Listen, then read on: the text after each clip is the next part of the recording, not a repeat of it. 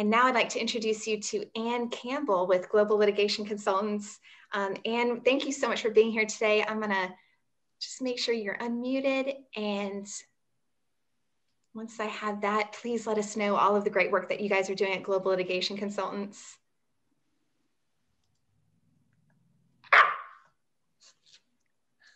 Like the, okay, there you are. There you. Thank you so much for being here today. Thank you for having me, Ginger. So we're an alternative legal service provider. So we, what we can do is really help an attorney through the entire length of their case and really help streamline their process with services that we offer, such as medical record retrieval, medical record organization, case merit evaluation, as well as special needs trust and life care planning. And if they come up with a problem that they're uncertain on how to solve, they can reach out to me and we can come up with a custom solution for them. Okay, fantastic. Thank you so much, Ann. And I know you guys work with clients all over the country. So I highly encourage everybody to reach out to you, especially if they have any questions. Yes, please do. Thank you. Thank you for being here. And now it's my absolute pleasure to introduce you to Kyle Kuhnberger with HMR. Um, great, great dear friends of ours, and we're so happy that they are here with us today. Kyle, thank you. If you don't mind, let us know every, let everybody know what you guys do and um, about all the great services that you provide. Yeah, sure, no problem. Uh, thanks for having us. Um, you know, I think most people know that we uh, we tend to get involved in cases where people are uninsured and and, or underinsured and they can't get the medical treatment they need. So we end up funding a lot of catastrophic cases like brain injuries and spine surgeries and amputees and burns. Um, but I think one of the things that that actually probably helps the most is is what we do behind the scenes. So you know, our office when we're working together with a lot of the law firms around the country because we do this nationally.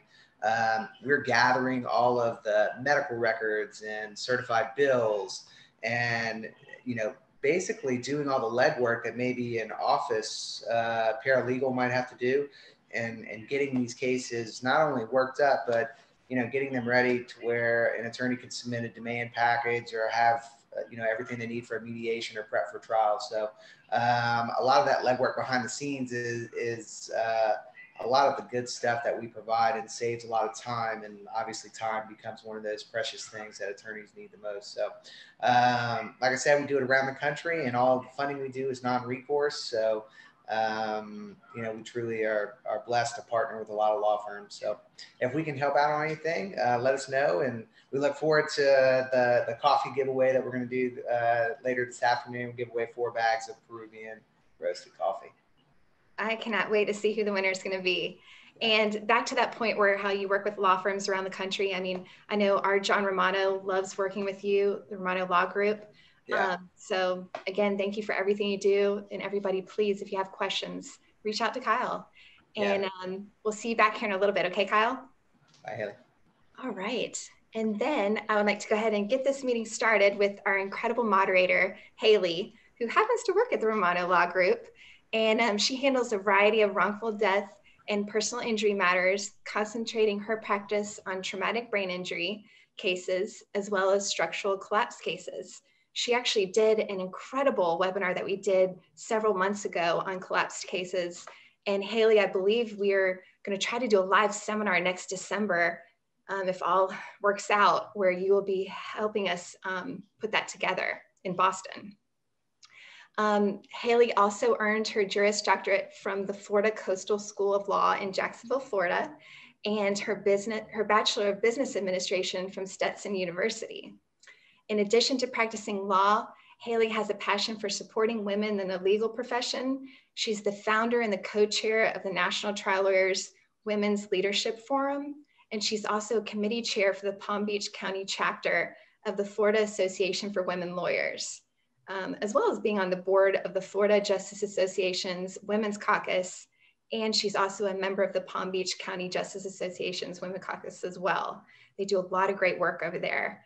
Um, Haley, we're so proud of you. And um, I also want to mention that you are not only on the board of the National Trial Lawyers Top 40 Under 40, but um, you're doing a variety of other things to help the community. So thank you for being with us today and moderating we look forward to it. And I think Coconut, he's ready to start the program. So You heard a little bark. That was him. Enjoy today. Thank you so much, Ginger, and thank you for that very kind introduction. And welcome everybody to today's webinar. We have a very exciting program um, for you today where we're gonna be discussing tech tips for trial lawyers from investigation to preparation. And we have two wonderful speakers for you today.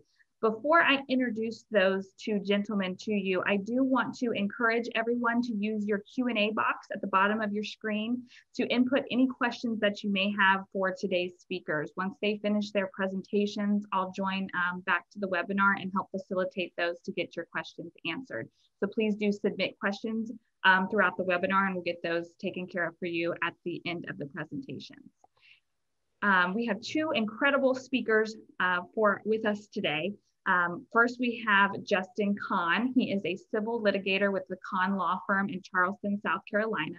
He handles professional liability, tort, product liability, contract, and other matters. Justin is AV rated and is board certified in medical malpractice by the American Board of Professional Liability Attorneys, where he also serves on the board. He is also board certified by the National Board of Trial Advocacy as a civil trial advocate and in practice pretrial practice advocacy. He is also a diplomat with the National College of Advocacy and American Association of Justice, and he is certified by the South Carolina Supreme Court as a civil circuit court mediator.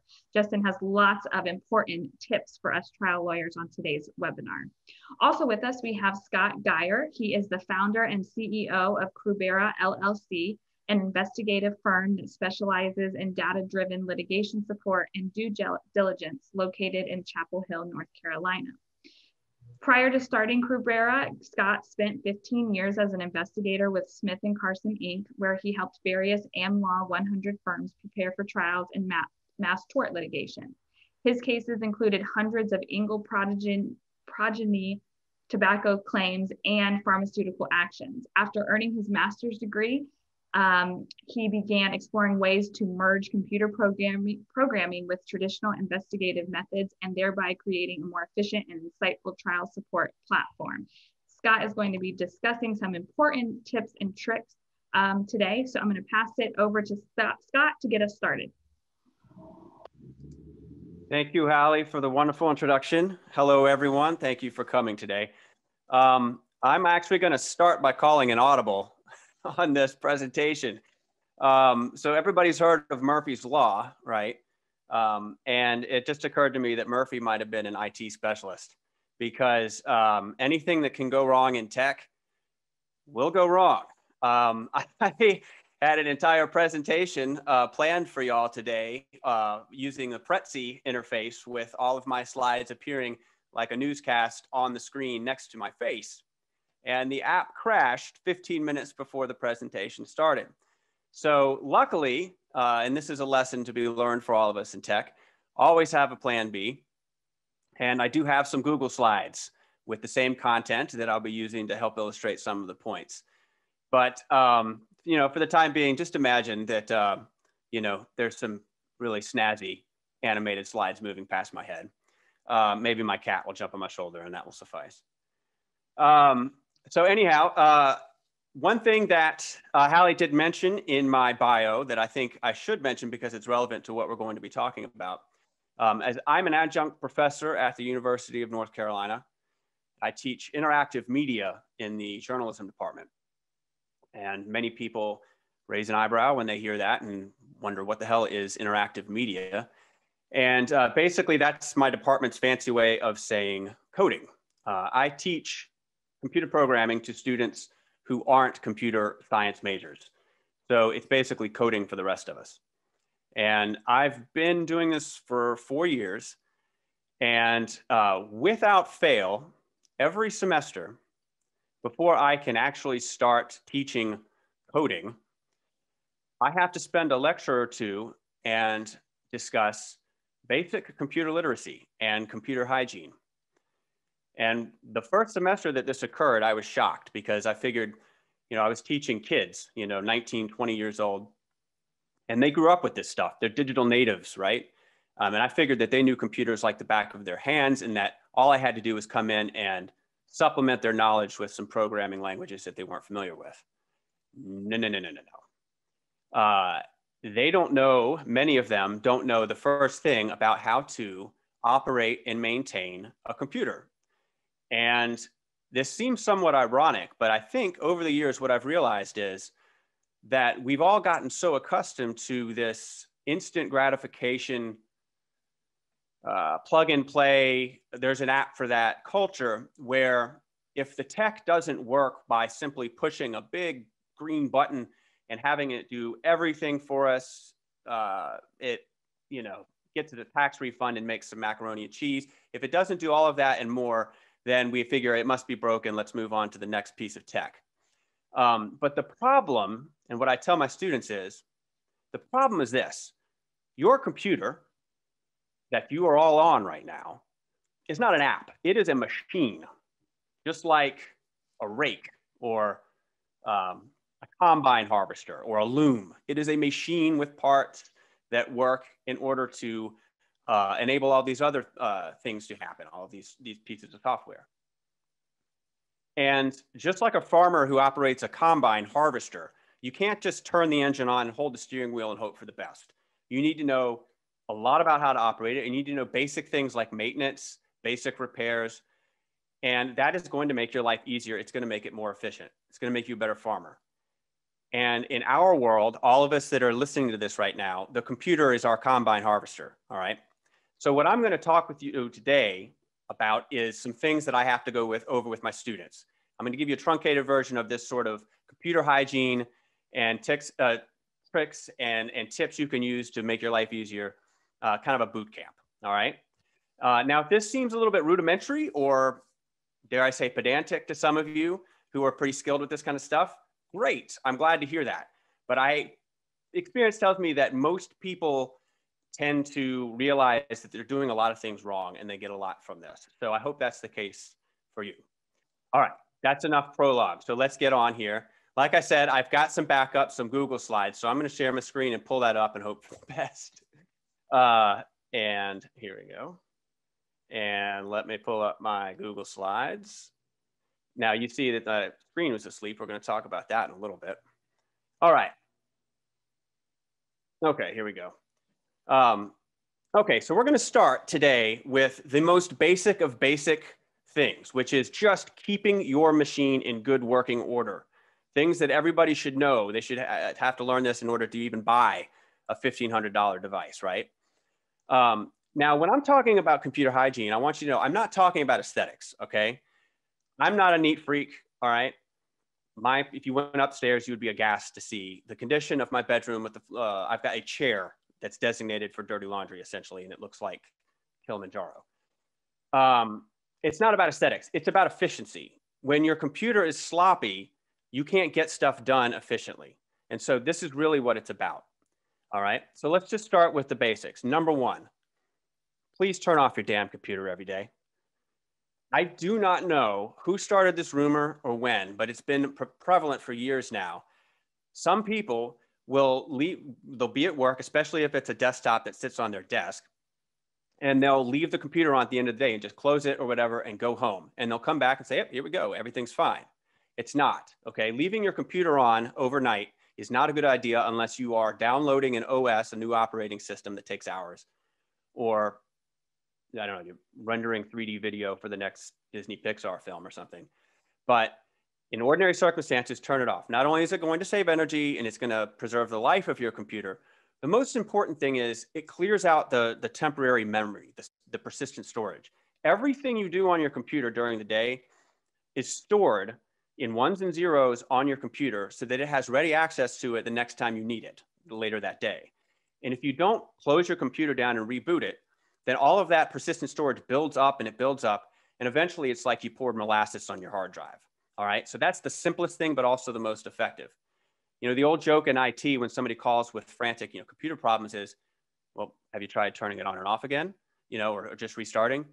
And it's funny because it's true. It's true. It works because it clears out all of that, that memory from your day's work, right? So that's the first thing. Turn your computer off. While we're talking about power, do not charge your battery as a rule more than 80%. Now, the lithium ion batteries that are in most computers now, they've come a long way, but compared to the rest of the tech involved with computers, they're still, I mean, pretty much Energizer batteries for all intents and purposes. And when you uh, leave it plugged in at 100%, it's cooking your battery and it's wearing the life down. Conversely, if you are the type who leaves it, it drains it down to the single digits, four or 5% or whatever, that's putting a lot of stress on the battery too. So the sweet spot as a rule is 20 to 80%. So when you see it get it above 80, just unplug it and get in the habit of doing that. And then this one here is another big one. I tell my students every day when you start work or when you finish work, delete your downloads folder. Um, so, of course, everybody should know what this is. I'm going to show you this is here. Oop, hold on a minute. The irony of, uh, there we go. I was going to show you that later about how to clean up your desktop. Um, when you're looking at your downloads folder, okay, you're going to have these are some things that I did earlier today, of course. You might say, well, wait a minute, I need some of this stuff. And chances are you do, but that's a good chance to do, that's a good opportunity to take inventory of what you're working on. If it's something you need, you may have copied it or moved it to another folder. And guess what? Now you have two copies of it. You never need two copies, right? The downloads folder is, is just a temporary repository, right? You so you basically can clean house and get rid of everything every day. And that frees up a ton of space and it frees up some memory on your computer. The big thing you want to do is anytime you see a file that's .dmg, so like I had to install these today. I had, had to get a new version of Firefox, this disk inventory. These DMG files are uh, incredibly large, as you can see, 76 megabytes, right? And all they are is shells that are used to deliver the packages, right? And you, you don't need those. You can get rid of everything. I'm just gonna get rid of all of this and delete it. Uh, while I'm doing that, by the way, let's take a look at a little quick shortcut that a lot of people don't realize. My students uh, often stop me and say, wait, how'd you do that? Um, as you know, probably you can go Command A on a Mac to select everything, or Control A to select everything in a window on a window on a PC. Scott, we don't see the screen. Oh, I'm sorry. See, this no is why I needed that Prezi. No Thank you, Justin. This is why we needed that uh, that Prezi uh, thing to be working. Okay, sorry about that. All right. Okay, here we go. So, all right. So now everybody should be seeing my desktop. Okay, so when you need to just select everything, but it's not everything in the window, a good option is to just choose the first file that you need, hold down shift, and then the down arrow. And then you can select everything that you need to delete without selecting everything at once. Um, so uh, click shift and then down arrow. And I'm just gonna go ahead and move all this stuff to the trash. Uh, that one probably too, but I'll hold off. Okay, so get rid of your downloads folder. That'll make a big difference right off the bat. Um, Okay, and okay, so cleaning up the downloads is only the first step. Um, there's also programs that are running in the background of your machine that you don't even realize, and they're they're programmed to auto boot and just. God, I, I, don't mean to interrupt, but I got a question. You, you yeah, said get rid of your downloads folder. Do mm. you mean literally get rid of your downloads folder or get rid of stuff in it? oh, I meant yeah. Sorry, that's a, a split in hairs. Yeah, I meant the, the contents inside the downloads okay. folder. I just don't want no, you very... start deleting their downloads folder. Oh no, yeah, no, you very much need your downloads folder. Um, and in fact, I imagine if you tried to get rid of it, either wouldn't let you or it would just make a new one when you downloaded. So um, no, get rid of the contents in it because it's not really doing you any good. Um, and with Mac, uh, the latest OS, when you download software, it automatically gives you the option of getting rid of the .dmg file and moving it to trash because they're aware that it's such a problem. So um, if you have that on your operating system, definitely take advantage of it. Okay, so um, all right, so let's talk about cleaning up uh, the programs in the background that are causing trouble. This one uh, often happens with my students. Um, they'll have to restart their computer and I'm trying to help them with their code and it takes 10, 15 minutes to get their computer going and they're like, oh, I just bought this machine, you know, a month ago. I don't understand what's going on. And it's often because of the stuff that's going on in the startup disk.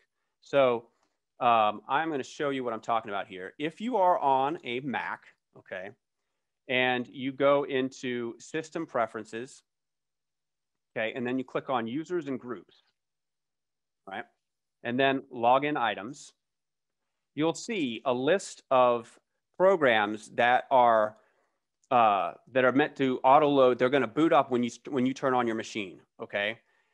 I've already gotten rid of the ones that I know I don't need doing that in the background, and it speeds up my machine. But you'll find a whole bunch of them. And to make changes, you can just click the lock, enter your password, and then you can just click hide on the ones that you don't want running automatically in the background. That saves a ton of RAM and it'll, I, have seen it uh, shave off a good 10, 15 minutes on the boot up time with some of my students' machines. On a PC for Windows, uh, the, uh, what is that? Yes.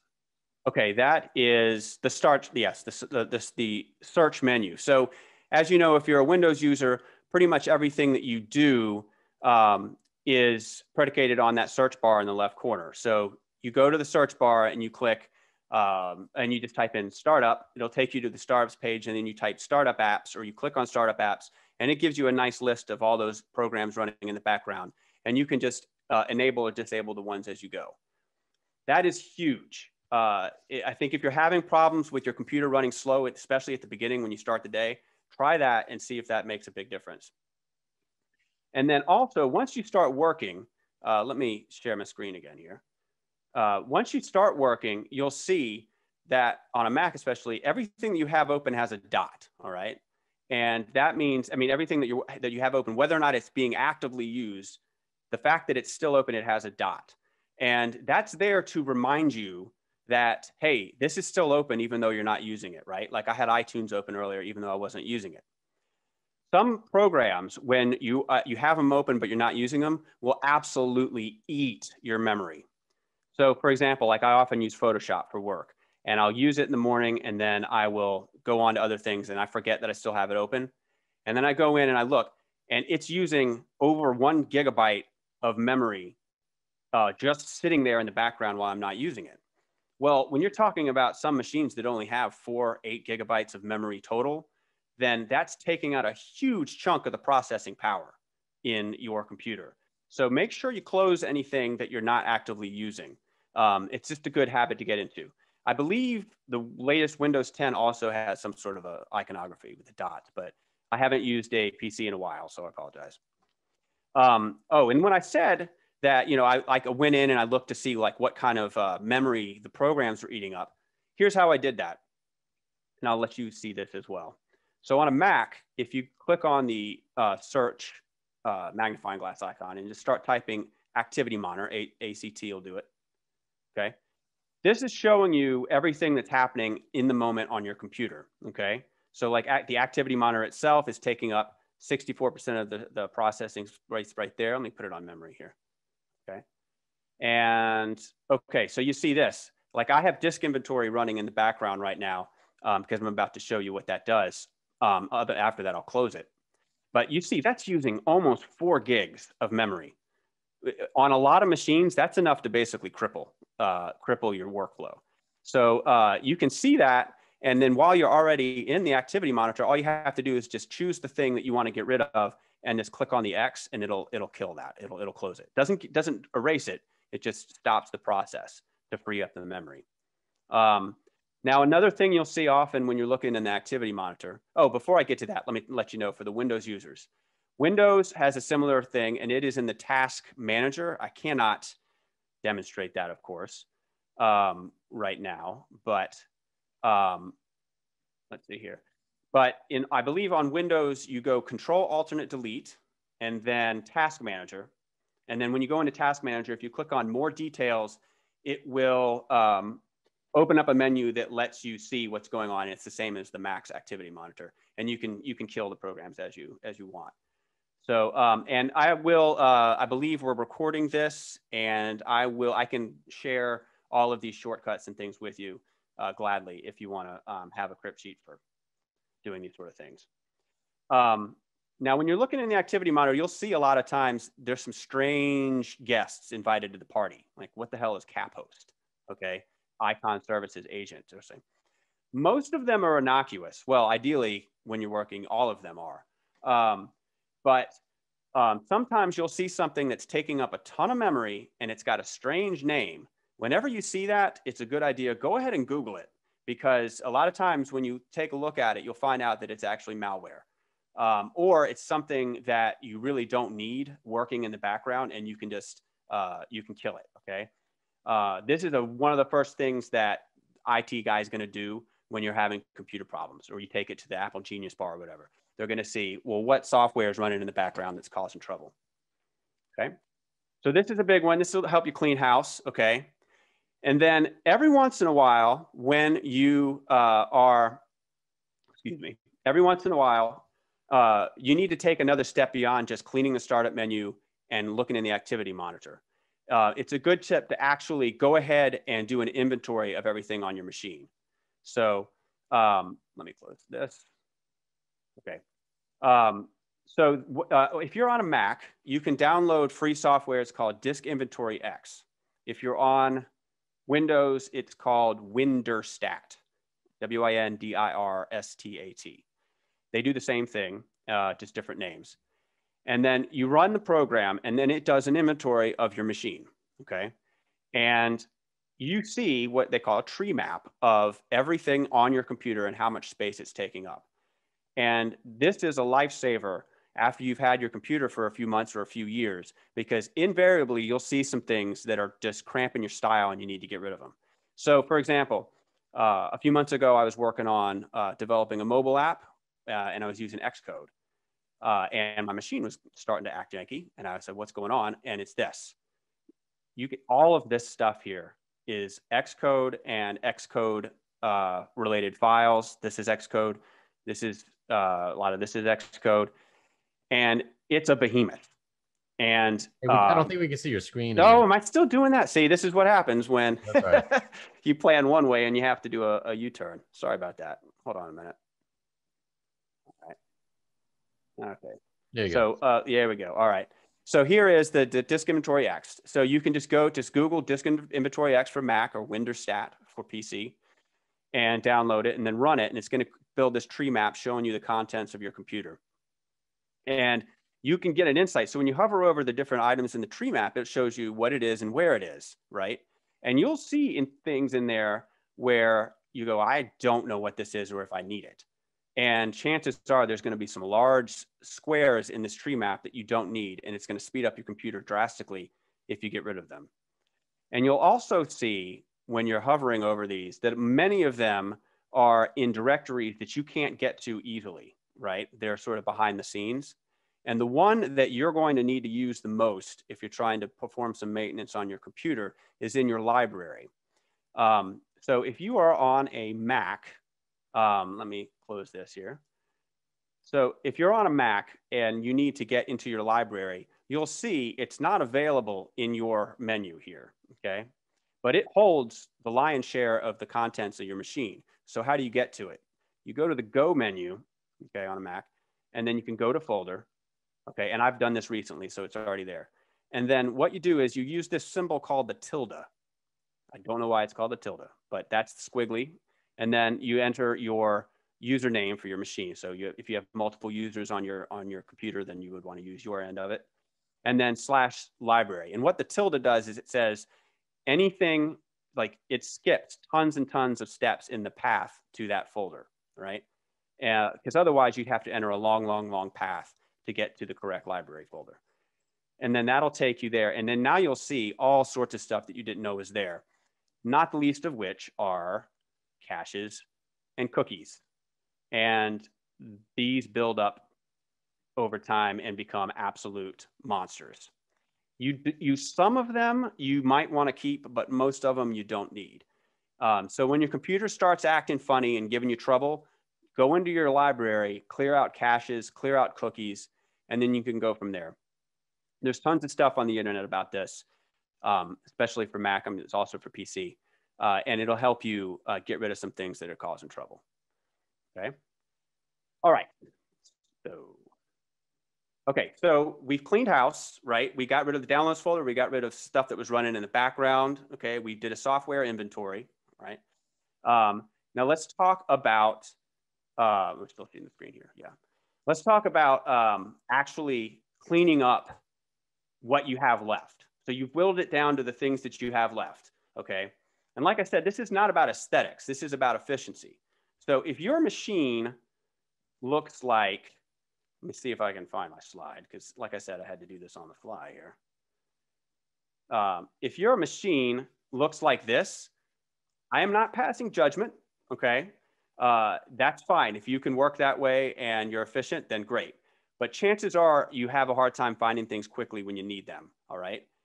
So the easy way on a Mac uh, to clean these things up is to use stacks, all right? So if you go up to the top and you click View, Use Stacks, it will automatically organize things, I think using AI, to get into a, a, a system of stacks that works well. I'm gonna turn this off and you'll see. So here are screenshots I was, I was pulling uh, for the presentation uh, the other day.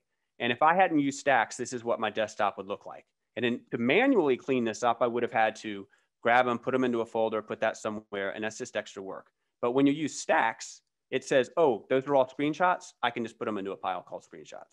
All right. And then an even more powerful uh, thing that you can take advantage of with stacks is grouping them. And the best way to group your stacks is by tags. All right. So if you go into a folder and I apologize if you have any questions now. Let me know. I, I, I, I might be going a little fast, but um, if you click on a folder, you can. I'm just going to click on my UNC folder here, and you get the info, and you look up and add. There's a, a window here for tags. Okay, and they have some that are built in by default, colors, and then home, work, and all that sort of thing. And then you can create your own. So for example, when I was with Smith Carson, I had hundreds and hundreds of cases. Each was a plaintiff in a toxic tort. So I mean, and you know, some were active, some were inactive. I had tobacco claims, OxyContin, Roundup, and after a couple of years, the current um, way of organizing it didn't match the way I needed it to be organized in the moment. So like if I needed to see which ones were active and which ones were inactive, there was no way of doing that just by having a folder with all the plaintiff's files called tobacco. But if you use tags, you can. So like I can have a tag for like inactive case or MedMal case or uh, whatever you're working on, add that tag to it. And then when you go to uh, stacks, let me close this.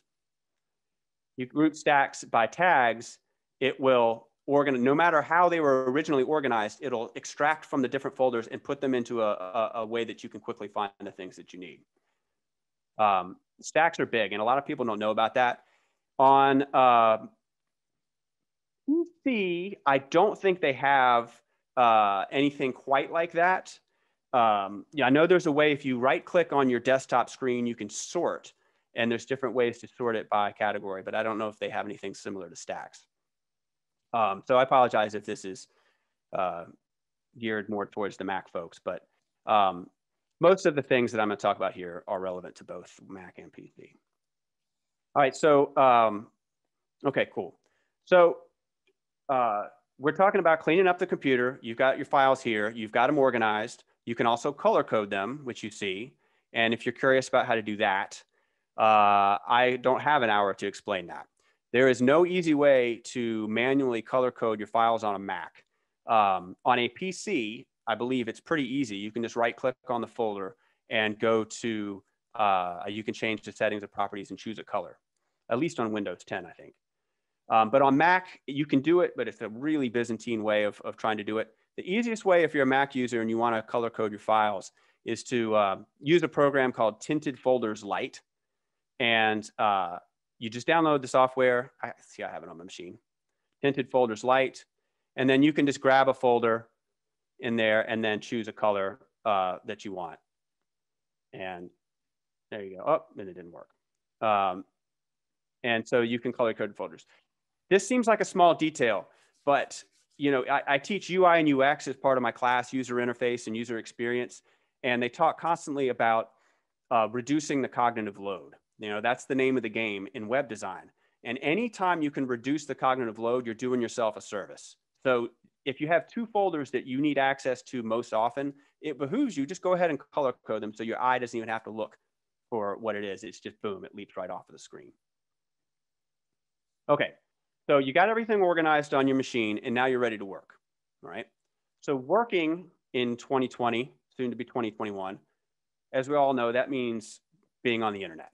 I mean, not constantly, I'm speaking to trial attorneys, but my half of this presentation, which I hope segues nicely into Justin's, is the research phase of things, discovery. Like that's what I specialize in as an investigator, is helping attorneys with the discovery phase of their work. So when you're in discovery and you haven't gotten to trial yet, you're going to be online constantly, of course. So you need, in addition to cleaning up your own machine, you need to learn how to clean up your browser. and you need how to learn how to use your browser efficiently. And so that's what we're going to talk about right now. Um, and then we'll start off here just by talking about the most basic thing that many people don't know. Uh, again, my students, uh, uh, I have to tell them this every year. Uh, I've yet to meet a student that didn't know this. Um, but the difference between a refresh and a hard refresh, okay? So I'm going to go to, um, let's see, I'll do connectionology.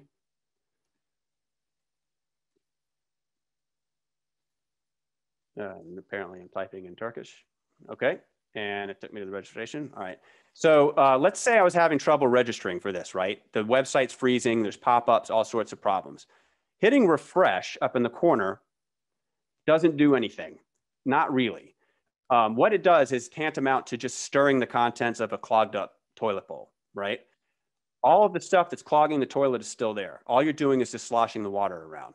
When you actually need to clean house on the browser and kind of do a, a, a reset, you got to do a hard refresh, which is on a Mac is Shift Command R. And you see that that takes a little while longer. It's got the, and what that does is it clears out all the cache, all the cookies, all the code that's running in the background, basically, let's be honest, to track you. And um, that's how you can fix a lot of problems when web websites aren't performing correctly. It's Shift Command R on a Mac, and then on a PC, you're going to do um, Shift Control R will be the shortcut for um, for Windows users. Okay. A more circuitous way of doing it on a uh, Mac is you can do Command Y, and then this will take you to your Chrome. If you're in Chrome, it will take you to your browser history, and you can go ahead and clean house this way. Uh, I'm not going to do that now because I don't want to get disconnected from some of the things we need. Um, so that's a big one. That that when you're when you're working and things aren't going well, doing a hard refresh helps. If you're on Safari, it's Command Option E, uh, but in Chrome and Firefox, the Shift Command R will work uh, most of the time. Okay. Now, another issue that often comes up, especially with my students, that um, causes problems when people are on the web, is you have lots and lots of tabs open, right? So I only have a couple right now, but look, you may be one of those people that opens a window, doesn't close it, and just opens a new one when you want to go to a website. And then by the middle of the day, by lunchtime, you've got a hundred tabs open in the uh, on the top of your um, browser. Okay. Look, if that works for you and it's efficient, fine. Uh, I would argue that it's not the best because once you once the tabs are so small, you have to hover over each one in order to find out what it is. But if that's the way you work, that's fine. However, you need to keep this in mind. Every tab that is open in the background that you're not currently using. So like every, um, you know, this page, right? When I'm, I've, I visited it, but I, you know, I'm not looking at it anymore and I go back to my presentation. Even though I'm not actually on this uh, connectionology site anymore, it's still using up memory. In fact, every open tab in a browser takes up about 120 megabytes of your computer's RAM. So, I mean, you do the math. If you have 10 windows, just 10 windows open uh, on your machine, you're talking 1.2 gigabytes of RAM, which is a ton. And that's going to slow you down big time. So if you're one of those people that likes to keep a lot of windows open, a lot of tabs open in the, in the top, that's fine. But then I highly recommend you use a Chrome extension. Um, this is also, I believe, available in Firefox, an add-on, and it's called the Great Suspender. And what that does is it puts all of the inactive tabs to sleep so that it's not using your computer's processing power in the background. And then when you want access to it, you just click. All right. And so it puts everything else to sleep. So here's my wife's Facebook page, which we're going to look at later. Uh, it puts it to sleep. And then when you want to see it, you can click on it. Uh, this speeds up your machine immeasurably. Uh, I'm a big fan of this. Uh, and I don't even, I'm not the type to even keep a ton of tabs open but um, it's a big it's a big help. Now, uh, one thing you want to be cognizant of when you start using Chrome extensions, if you're not familiar with them, is that yes, they're awesome. Yes, they're super powerful and they do tons of different things for you and they're all free. So what does that mean? You've probably heard this adage before, but if the tech is free, you are the product, right? So if there's an awesome app that's doing something great for you and making your life easier and you're not paying for it, that's because they're getting your data. And you know, everybody knows about Facebook, but pretty much every piece of free technology that's available via the web today is at least in a side operation, it's a, it's a data mining operation. Now, it's a trade-off, right? When privacy and data security are really a topic that we could put aside for another webinar. In fact, that would be a really a good one to have. There's too much to talk about to, to discuss it all in detail here. I'll just say this, like when you want to start using Chrome extensions, I'm going to go to the Chrome extension store. So the Chrome Web Store and Firefox also has some, they call theirs add-ons. You just need to, so let's look at Great Suspender. You just need to do your homework a little bit. And the rule of thumb is if it's got a lot of users, this one has more than 2 million users, it's got good reviews, and there has been no report of any malware or spyware, then they're on the up and up 99 times out of 100. Google also audits all of those, uh, all the Chrome extensions before they're allowed to be on the platform. Um, and you'll hear about trouble before it brews usually. Uh, only once in the years that I've been using Chrome extensions have I gotten a warning. It said, we, and it automatically disabled the extension because there was a report of malware through it. So I didn't even have to actively do anything on my end.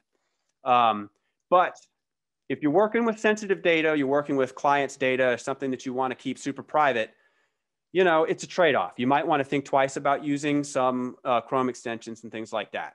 Um, VPN and other privacy measures will not affect Chrome extensions um, because Chrome extensions actually access the sites that you're looking at. So what you're seeing on your screen is what they're seeing, um, more or less.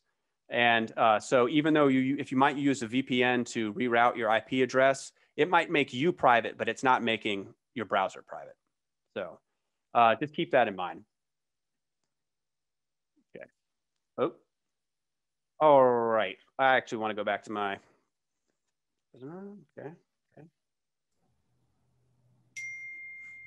Oh. Okay. Let's get to everyone's favorite topic here.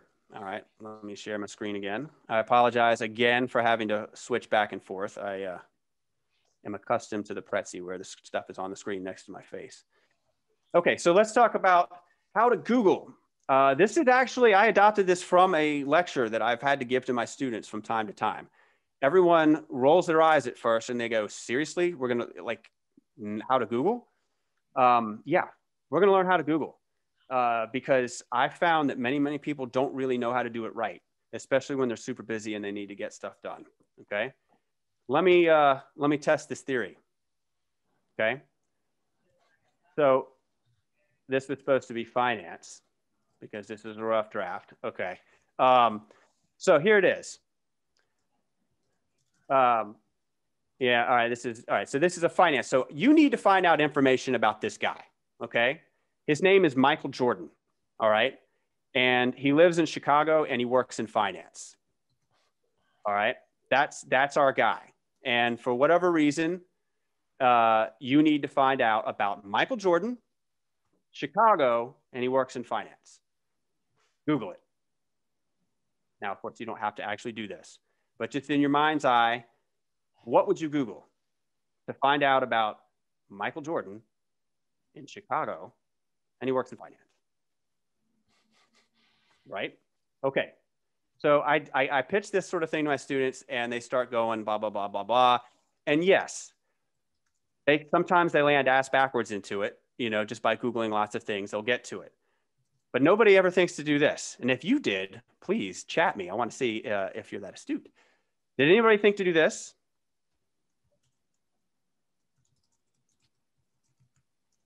Okay, and now I'm going to go. Don't Google the name and the details. Google the image. I gave you a picture of the guy. Use it. So I'm going to get the screenshot. All right. And then we go, interesting, interesting.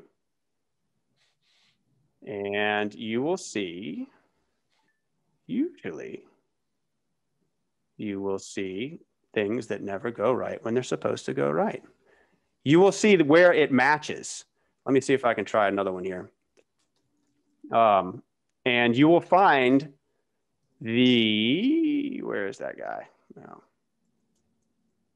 Let's try that.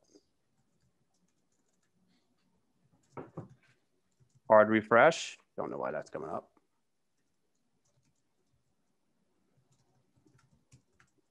Hmm. So if you do an image search, it will look for any, it will look for any uh, place where that image appears. And it is not happening right now, which really defeats the purpose of this, uh, of what I'm saying here. But if you, let me try it one more time here. I think I called it Jordan the Banker.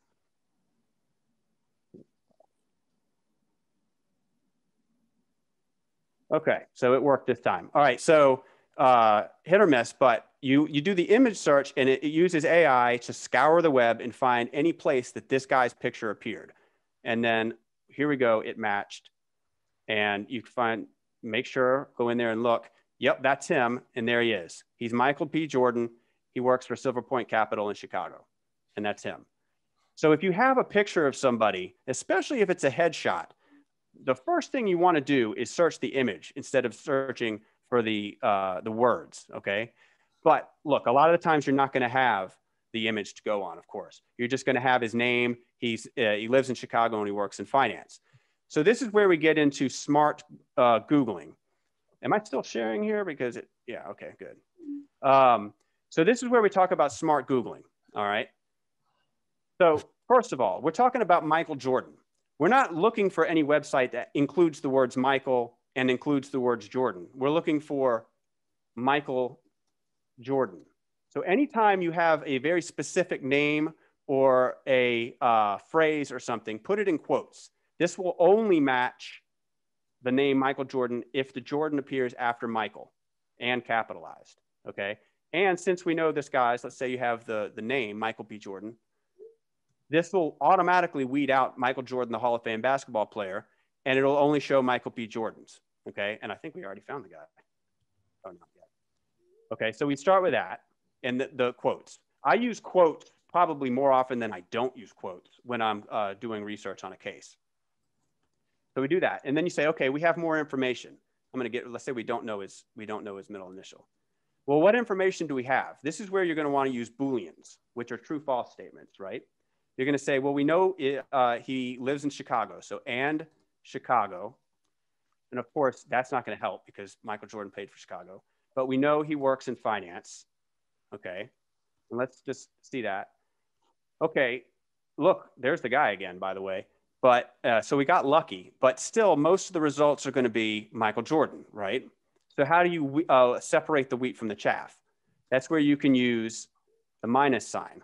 So, you can go minus basketball, minus NBA, you know, you get the idea minus player, minus Bulls, just to be safe. And now there he is. He's the first person that comes up. Well, that's just like, I'm not going to link it in the long enough. So uh, he, that's his LinkedIn profile. Um, and you see that by using the minus sign, it got rid of all of the results that would have been about Michael Jordan, the basketball player. Um, and of course, this is germane to all sorts of searches, not just famous people with common names, but including Booleans and minus signs will make a huge difference when you're trying to find things. And that's just the start. There's all sorts of things you can do. How about this? Let's talk about searching within a site. All right. I'm going to pick on Justin a little bit here. Uh, he's, he's a good sport. So let's say we're looking um, for everything we could find about Justin, Justin Kahn, and we know he's an attorney. So I'm going to include that. All right. And what do we know? Well, I know Justin lives and works in Charleston. So the local paper is the Post and Courier. So I'm going to go site colon uh, post and courier.com. And now all I'm seeing is every instance in which Justin has been mentioned, has appeared in the Post and Courier. And I can tell you as an investigator, this would be one of the first things that I would do. If I were investigating Justin Kahn, uh, and, and, if you hired me to investigate him, and let's say he's the defendant um, in a, a, personal injury case, I do this. I know where he lives. I go to the, the likely newspaper. This is the first thing I do. Um, not often, but uh, this will, more often than not, it'll show you almost somebody's life story in terms of their media coverage and in terms of what they do and who they are. Um, another thing that uh, you can do to uh, get a better picture of someone or do some quick research is if you have a key website that your subject is involved with, then you can use that as the basis of the Google search. So what you can do is you can say related, and then let's say, what is the website? I'll do on, well, I think it's called law firm. Lawn firm, that's a landscaping company. Okay, and three things came up. So what this did in the Google search is it said, show me any site that has been associated with Kahn Law Firm. And you can tell right off the bat, like I already know looking at this, well, he's probably a personal injury attorney in Charleston. What it tells then, me is somebody's bought my name and they've got ads yeah. associated with it. I was waiting for you. Pearland, Texas, or is that? I think that's in Texas. Um, oh no, they added the. There you go. They got around it. Yep, yep. Um, now, here's one of the nice uh, ancillary benefits of doing the related colon search here is that this is a dynamite way to find witnesses. So if you have somebody that's closely associated with a, a website and you do related, you'll find, I, I, Justin, may I ask, do you know anybody at Boston Law Group, Bosick? No, no, no. That's, no, that's why I think it's funny. I think that what they've done is they must have, um, they must have either bought the domain or, uh, done something with Google to buy that name or something because those those are two other I'll call them competing law firms. So they must have done something with Kahn. Oh, no, so no, this is just so Google's search bots have an algorithm that finds related websites. So like if I do related uh, Amazon.com, okay, so it's going to give me Walmart, Overstock, mm-hmm. Macy's. So these are see, these are sites that are related. They're similar to Amazon, right? Um, so like in your case, it's saying Charleston personal injury law firms are most likely related in the same wheelhouse as Kahn law firms. So hmm. that's how those are coming up. Now they may well have done something surreptitiously to hijack your site. I, I don't know, but um, the related colon search uh, is a really good way to quickly find some witnesses when somebody works. Is there a place like to an, find a list of codes like that to use? Uh, well, if we share the slides uh, in today's webinar, um, I can give you all of those. Um, and I am more than happy to put together a list of, uh, of some of these shortcuts, um, the Booleans, colons. And I imagine if you just Google, um, ironically. Maybe share that. There's another question that I know you're going to answer. Yep. Somebody's just asking about um, Chet, who I think is in North Carolina, is asking about downloading full websites. Mm-hmm. So that might be a question to. Yep. Yep. Answer. We're going to get to that. Yep. I'm going to, I'm going to, I'm going to show you how to, how to download an entire website content um, and do it and like a social media profile that's huge, how to do that quickly using a, a little snippet of code. Um, but yeah, if you Google uh, just um, smart Google search or Google search tricks, there's usually a couple of blogs that'll have some of these tips.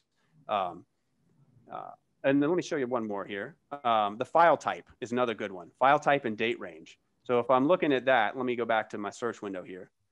Okay, so I'm gonna pick on you again, Justin. So Justin, on, and we know he's an attorney. That's to separate out the people who aren't. Okay, and then I do a date range, 2010 dot dot, and let's say 2015. That's not gonna work because I misspelled attorney. Now it's only gonna give me results that are pertinent to the years 2010 to 2015, which for whatever you're doing, it may work. That might be something you need to know, it may not. Uh, more for your purposes as trial attorneys, I imagine something that might be more helpful is if you do file type PDF. Now it's giving me only PDFs that feature the name Justin Kahn and he's an attorney. And you look at this and you can see PDF, PDF, PDF. Here's something that you wrote. It looks like South Carolina Bar. Yeah. And um, you can get a lot of, you know, published. It looks like you appeared in a Court of Appeals opinion. Um, this is a really good one. File as, type. As and of counsel, course, not as a party. okay, there we go. I'm not going to open it up anyway. All right. So, and of course, you can do other file types. You know, you can do .jpeg, but that's going to be an image search. Um, you can do uh, .doc. No, it didn't. Okay. but PDF is usually the one you want to do. All right, so uh, there's all these, these little tricks you can do for Google searching, but the main thing is don't do this. Like if you have a broken toilet, to get back to the toilet analogy, the, you don't need to Google by saying how to fix a broken toilet, right? Now, a lot of people will uh, learn to spell broken. A lot of people will just do this out of habit now because we've gotten accustomed to like smart speakers. You say, hey, hey Alexa, how do I fix a broken toilet? And so they also get in the habit of typing it out. And I see a lot of my students do this. The reason that this is, is unnecessary is because even smart speakers, all they are is a search engine in a box. And when you tell Alexa or Siri to, how do I fix the, replace the fill valve on a toilet, all Alexa's doing is saying fill valve toilet. It, it's extracting the keywords out and then it's finding the site that's most relevant to that in Google and then giving you the results. It's essentially um, uh, it's just a Google search with your voice. Uh, and so it's the same thing when you're typing. You don't need to include anything that's not relevant to it. So if I do broken toilet, it's going to give you the same thing, in fact, a lot faster. So um, that's the big thing. And I tell my students that all the time because when you're talking about coding, um, knowing how to find the relevant information quickly is basically the difference between an amateur and a, and a web developer who makes $100,000 a year, um, is, is knowing how to Google smartly. I'm not, I mean, I'm not joking. Like, uh, it's kind of a joke in the business. Um, all right, let's see. We're getting, I'm going to get too short on time here. Um, since we had a question about downloading entire web pages, I want to get to that. But I will mention a few things here. Um, since all or most of you are trial attorneys, um, and you probably have websites for your law firms, um, I uh, would look into the Google Custom Search API, and it's actually now it's called uh, Programmable Search Engine, and they, they changed it the other day, Programmable Search. What this lets you do is embed a custom Google search engine in your website. So let's say someone is, um, you know, somebody in Charleston is thinking about filing, filing a medical malpractice claim. They, they come to uh, the Collin Law Firm website. If there's a search engine there where they can, it says, use our custom curated search engine for resources on your claim. And what you can do is you can use, you can provide a list of only the sites that you want to appear in the results that you know and trust or you want to, to direct clients to will appear in that. That's my cat. Uh, oh, it'll be, make a custom search engine and you can use uh, different, there's AI technology that you can incorporate. And the best thing about it is you don't need to use any code at all they have a drag and drop sort of starter uh, platform where you can just design the, the, the web, design the uh, search bar, enter the keywords and the websites that you want to uh, include in the results, and then embed it into your website. You can customize the color and everything to match your brand. Uh, this is a really great tool that a lot of people uh, don't know about. Um, and in my opinion, it adds a nice level of like trustworthiness and um, expertise right off the bat for a client who is just considering he's choosing between your law firm and another, you know, having that resource available is it could be a nice little edge to have on your website. If you uh, don't need it on your client-facing uh, website, but you do need a custom search engine for your own purposes, you can still use the custom search with Google, but there's another one that a lot of people like better. It's called DEVONagent. Um, and this will let you build your own, uh, basically your own custom Google search that is tailored to your needs. So you will search only for the things that you need to look at every day. Um, and it can save you a lot of time. Um, I think it costs a little bit, but not much, uh, a few bucks a month. Um, it's something you might want to look into. The Google search uh, API is, is free. But once again, remember what I said earlier, if the tech is free, you are the product. All right, uh, let's see. Uh, Ginger, I don't want to get too skinny on time here. Um, I just want to share a couple of things. Extinct websites, all right, as good attorneys, you know, preserving evidence is key. And um, the internet is written in ink, not in pencil. There is no such thing as an extinct website. So even though if, if it's got a 404 message and it does, it's not there anymore, it still exists.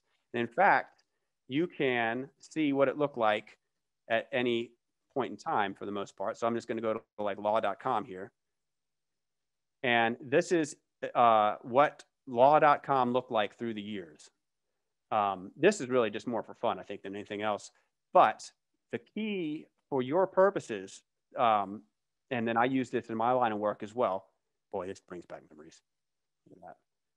This was cutting edge tech right here at the time. Um, for your purposes, one thing that'll really help you is if you need to um, capture an entire website that you know is probably going to change and you might lose evidence. Like, let's say somebody wrote some blog posts and it's got some incriminating um, uh, content in it, and you want to save that. Yes, you can, of course, save a PDF, you can do those sort of things, but you can actually save the entire website. So you can say you find it, then you can just enter the website. And now it has been archived for all posterity on the web. And so there will be a screenshot from December 9th and it will show uh, whenever when you go and you go i showed you that timeline you can click on it it will pull up exactly what, what it looked like and what was inside that website at the time. Um, so it's a really good way to preserve evidence the wayback machine. Um, it's also free and it is a nonprofit. They're not trying to make money off your data so. Um, all right i want to get to what we were talking about earlier about downloading uh, websites but let's see here all right, yeah, I'm going to do that so we can get out of time. I'm going to skip some of these things here. The slides will be available. Um, uh, this all, all these content here, this stuff here is more about like efficient ways to collaborate with people. Um, and the idea is, and I tell my students this all the time, don't copy and paste text unless you really need to. Take a screenshot. It's a lot faster and you can still, if you need to share the information with somebody and they need access to the source, just make a link.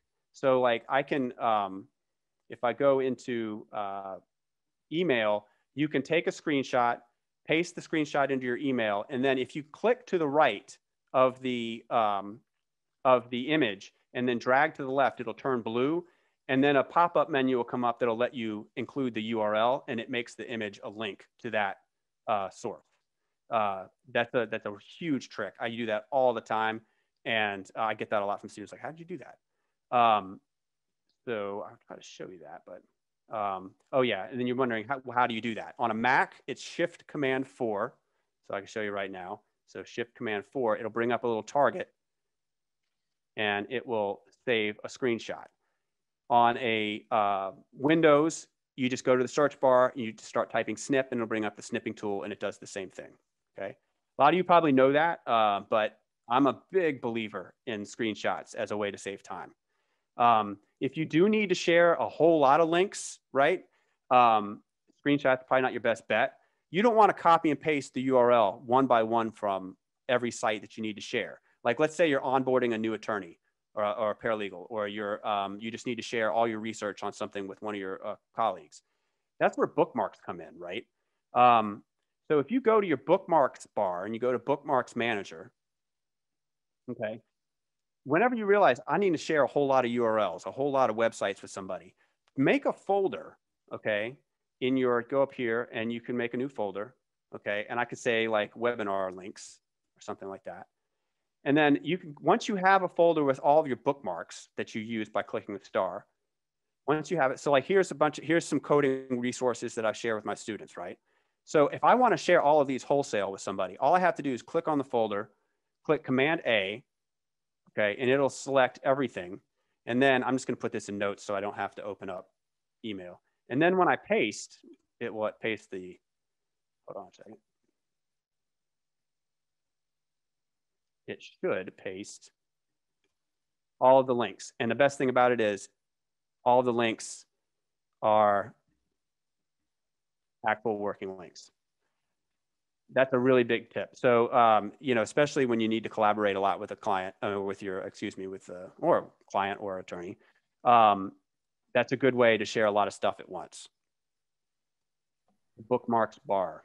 If you need to share content on a website that is live and you need, you want to just put some sort of like digital sticky notes on a website, there are some uh, really good web page markup sites. The two that I recommend the most are Web uh, Markup.io and hypothesis as in .is, but markup.io is uh, the one I've been using lately.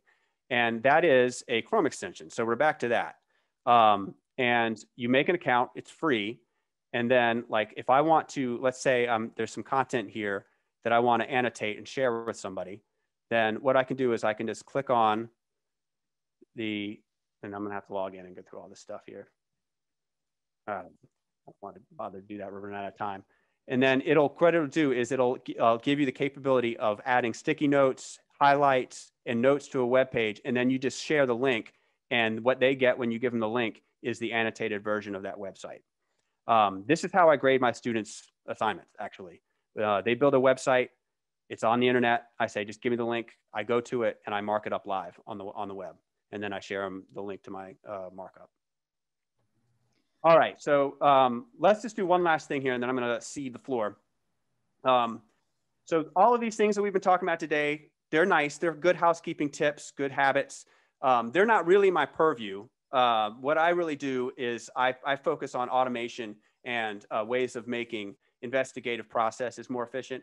And so I specialize in like web crawling, web scraping, and uh, things that will basically take the manual labor out of investigations and let computers and AI do it.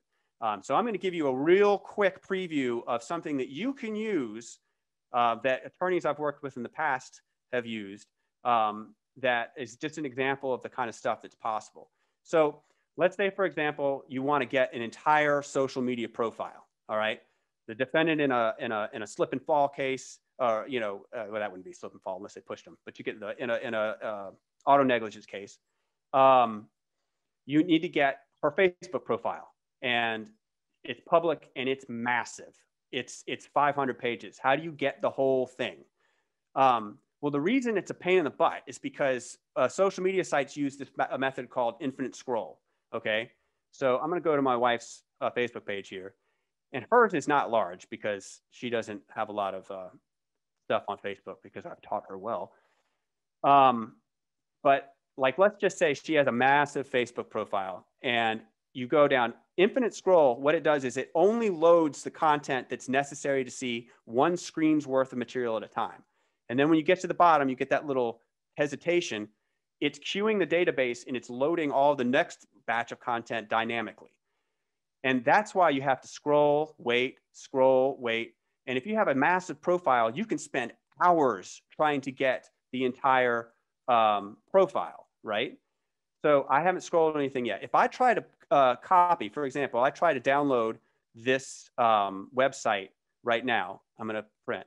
You'll see it's only one page, right? That's because of infinite scroll, because it hasn't loaded anything beyond like the first viewport, right?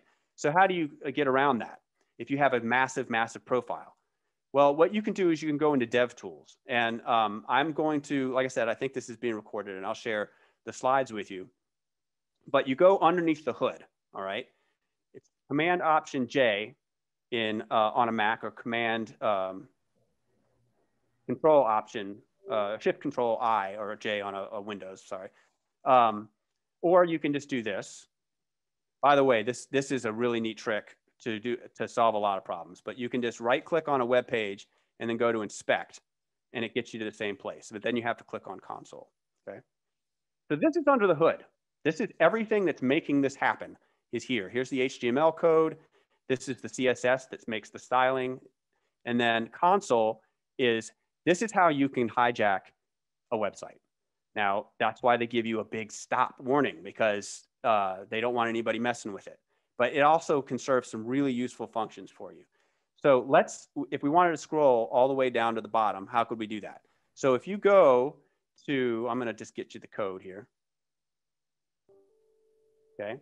And Scott, not to interrupt you, but just when you're finished with this, yeah. we'll go ahead and pass it to Justin. Okay, I'm sorry. So let me just show you this and then we'll get out of here. All right. Um, all right. So if we go here and then I just paste this in the console. Well, he's got a problem there. It will automatically scroll to the bottom. If anything that could go wrong will go wrong.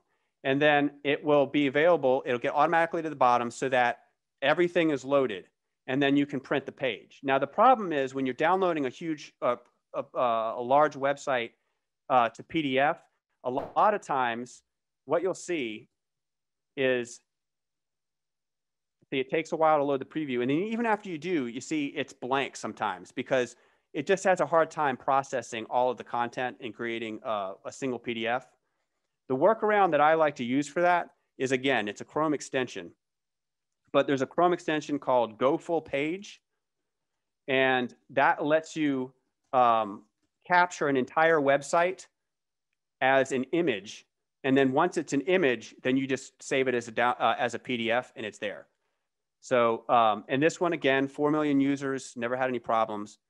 You, uh, so you just, you use the extension. Let's see if I have it here. And there it is. And it'll capture everything in this profile. And then see something that's large, it'll split it into three images, but then it, it'll merge those together. And then when it's ready, you just download as a PDF and you've got the entire website. This is a wonderful uh, Chrome extension. So uh, highly recommend that one. All right. Sorry Thank you so much, was... Scott. Those those yeah. were super helpful tips, and I think can be used by everybody that's on today. So, so thank you so much for that, and thank you for accommodating no, or adjusting based on on our tech problems this morning. So thank you so much. Um, and Scott will stick around so that if we can get to any questions at the end, he can answer those um, as well. So thank you, Scott. Um, and now we will switch over to you, Justin, to let you take it from here. Uh, thanks. And Scott, there are a couple of questions in the question and answer. Um, you eh, thank you, Justin. Yeah, I'm, I'm, I'm actually answering them one by one here. All right, cool. Perfect. Yep. All right, I'm gonna. Um, well, my plan is is to talk about Word, Adobe, and a couple things that we as lawyers are going to be needing to use, uh, or that we use frequently, and to show you how to use it better. So one of the first things I want to try to talk about is let's look at Adobe Acrobat real quick, and uh, I want to show you some of the settings. Now I've got a big monitor, so you may have to zoom in on Zoom to uh, focus on what I'm going to show you. But the uh, this so there's my Adobe Acrobat document, and this is just this is a deposition, and I'm going to show you some tricks for doing some searches that you may not be aware of in terms of Adobe Acrobat. There's actually a difference between find and search. So when you do Command F on the Mac or even on the PC, there'll be this little find window that appears. If you type in a term, and I don't even, I'm just going to make up one. Uh, I'll put in Allison because a lawyer that was in our firm who was taking this deposition. You see where Adobe Acrobat is telling you that's going to appear 54 times in this deposition. If you hit return, it takes you to the first one. You hit return again, the second, and so on. So you have no sense of if you are in the middle of trial and you're trying to find something, this is a horrible way to search for something. There's a different way to search. This is the find tool. Acrobat actually has something called a search tool. And instead of doing find, if you do shift command F, this window on the left will appear, which is the search window.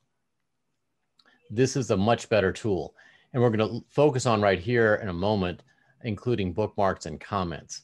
So right here, if I type in the word Allison and hit search, this is going to present to me something much more akin to uh, like a Google find or something, or Google search. So now I can find the word in the context of the PDF and click on it and it will take you automatically there to that point.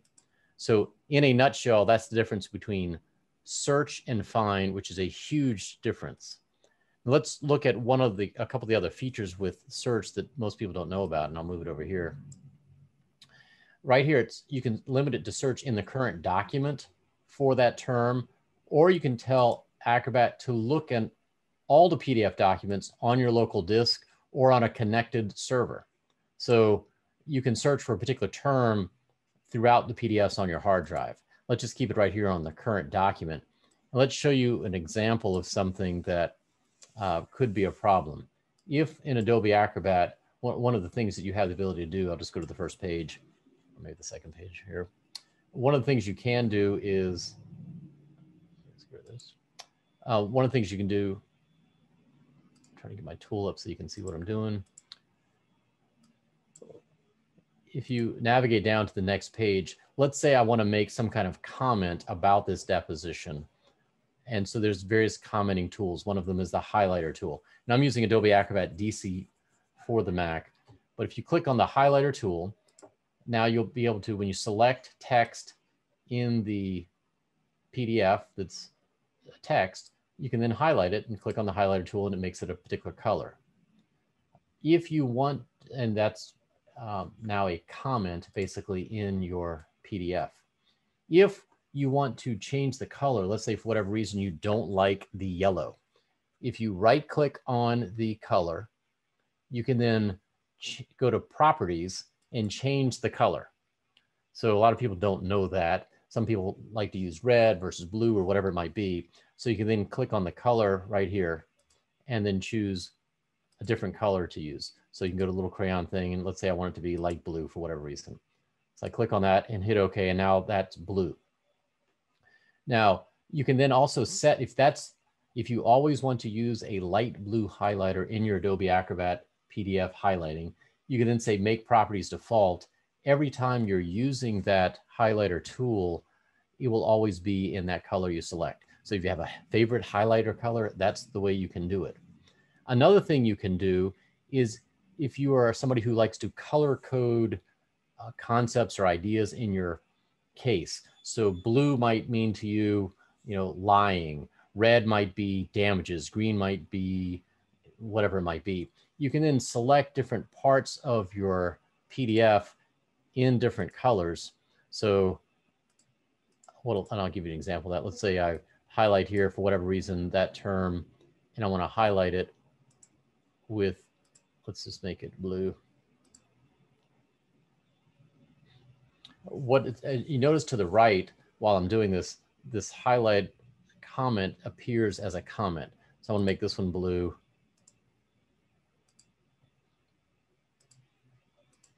So now you've got two different highlighted tools that are acting as comments. So I can jump back and forth between those comments.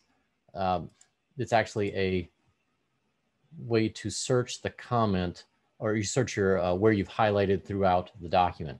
So you can have a highlight that is a comment to yourself, or you can actually make a true comment. So you can put, make, create a sticky note. And right here are these different kinds of tools available to add, uh, I'll call it annotations to your PDF. And you have different ones, a sticky note, a highlighter tool, typing tools, and so on. And I know I'm flying through these, but if you have Adobe Acrobat, my goal is to try to just not do a deep dive, but just show you some of the tools available to you that you can play around with. So let's just say I want to make a sticky note. I can click on that and drop right here a sticky note. And I'm going to make a comment that something like, um, I'll put uh, cross, well, let's, let's, do something that won't be, I'll put um, uh, great cross exam. Okay, so that's my comment and I want to click post. So now this, when I hover over it, that comment will appear. Now let's say one, one of the problems with that, I was going to show you the difference between find and search. So let's say you've marked up your PDF and you've made comments or highlights of various kinds, and you now want to, you're searching through your PDF, you know somewhere in there you've made a comment, this is a great cross. So if you do Command F and you do the find and you type in great cross and hit return, it doesn't appear it says it's not there. And you know damn well that that comment is there and find is not finding it. So what's going on? Well, Adobe Acrobat is only searching through the text, I'll call it, of the PDF, not in the comments. So if you use this search tool, that's Shift Command F on the um, Mac, and change your search term to Great Cross, right here where it says include bookmarks and comments, check those off and you say search, now it will find it. So now you can find those comments that you know you have made that um, that might you, you might use your own language as opposed to the language that's in the PDF. So that's a very quick look at the difference between find and search that is I think is an important tool. And the same thing with um, when you're doing bookmarks. Let's say you create a bookmark on page, I pick a page, let's say the here's where the witness is sworn. On the you can just click add right here to bookmark. And a bookmark is just a shortcut to this particular page. So let's just say uh, beginning uh, begin cross or whatever it might be. Nope.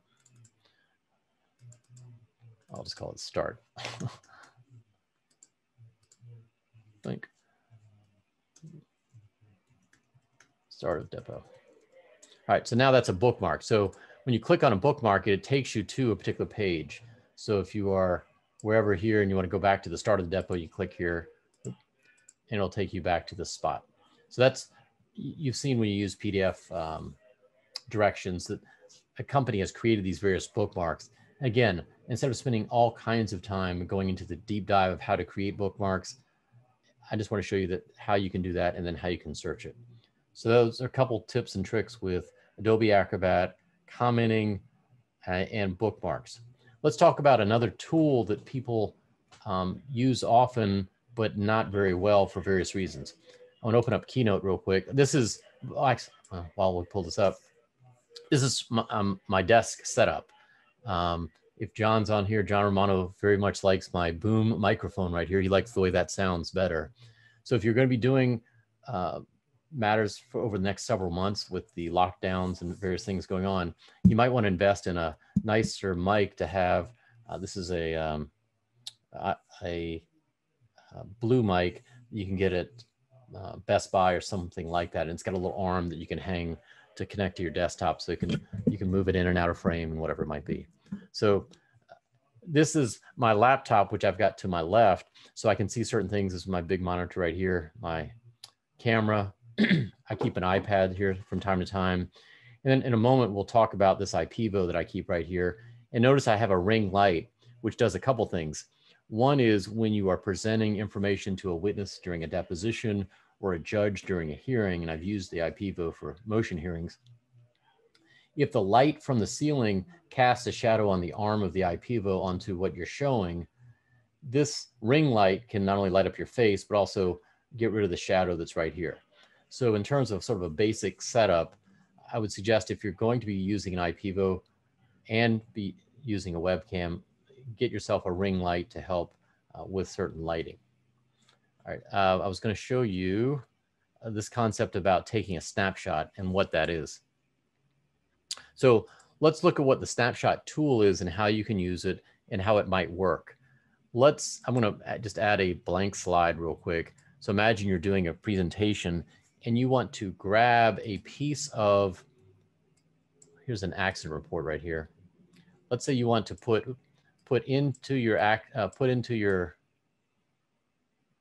um, presentation a part of the accident report.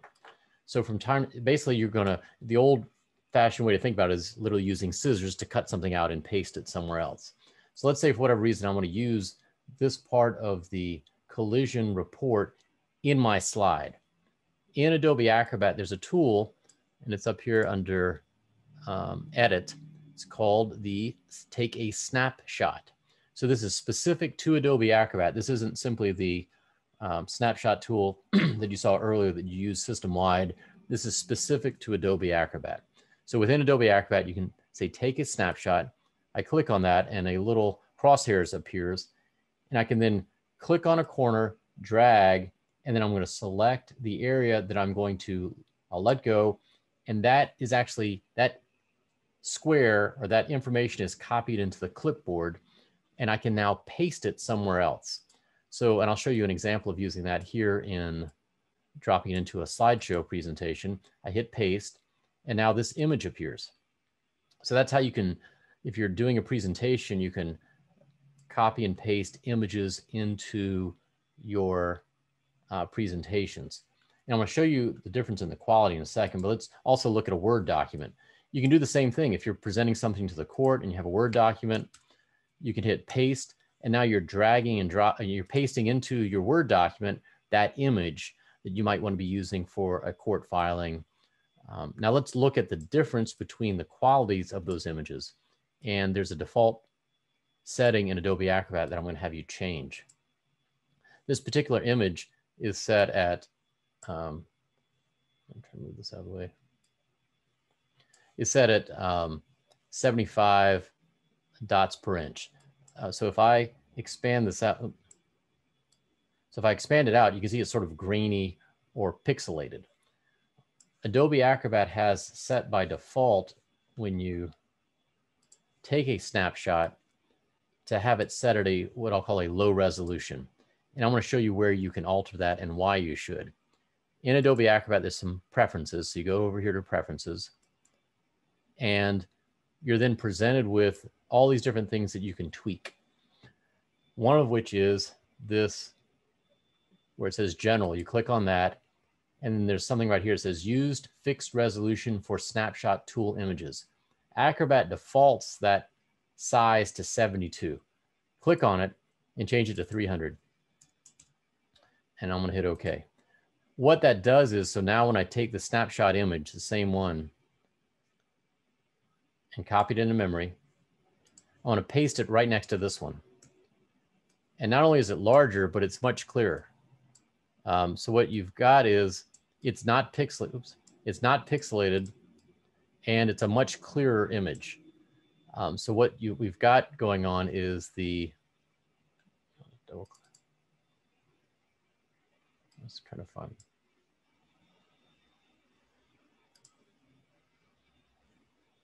I'm just to, well, this is, this is 300 DPI.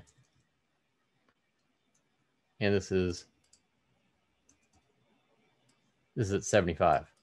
So with an image or text, when you're grabbing something out of a textbook or even out of a police report, if you're going to grab a piece of it, it looks so much better when you have that resolution set much higher. A lot of times, for those who, who've tried to use pieces of documents in uh, presentations or in a something a submission to the court, it looks very pixelated, and that's how you can change that. You go to that Adobe Acrobat setting for the snapshot tool and change it to 300 DPI versus the default setting of 72. A couple things with Adobe Acrobat. There are if you haven't used the newer one or you are confused like I am, I've been using Acrobat forever, but I still forget where certain tools are. I know, for example, I want to use a redaction tool and I can't figure out for the life of me where it is. I can look all over the place.